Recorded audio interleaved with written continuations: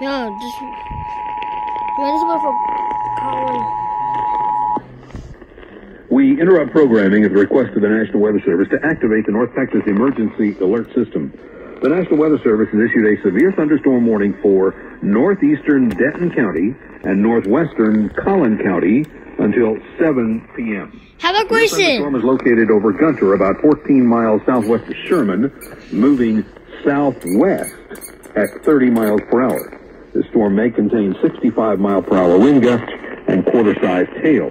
Locations impacted by this warning include McKinney, Frisco, Prosper, Celina, Van Alstyne, Aubrey, Krugerville, Gunter, and Weston. Once again, a severe thunderstorm warning has been issued for northeastern Denton County, northwestern Collin County, and south central Grayson County until 7 p.m. A severe thunderstorm located over the community of Gunter, 14 miles southwest of Sherman, moving southwest at 30 miles per hour toward Denton and northwestern Collin counties. Stop.